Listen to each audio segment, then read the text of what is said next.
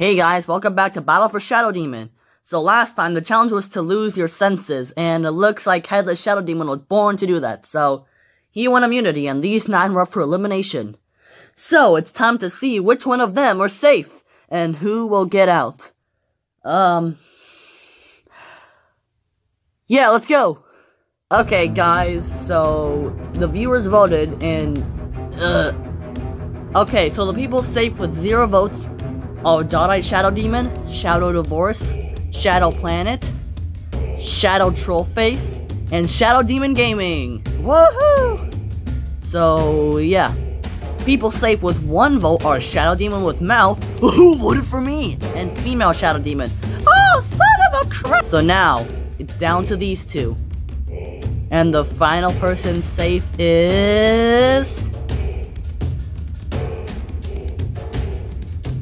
Shadowface with three votes.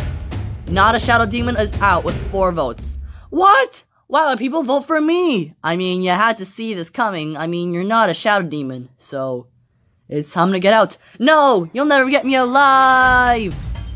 Alright, guys, looks like we have today's challenge.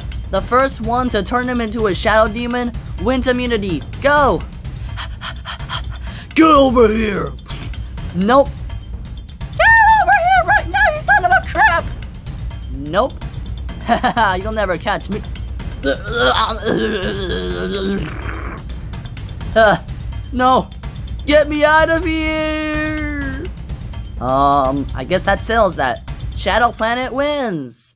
Alright, so, um, it's time for you viewers to vote on which one of these guys are gonna get eliminated next.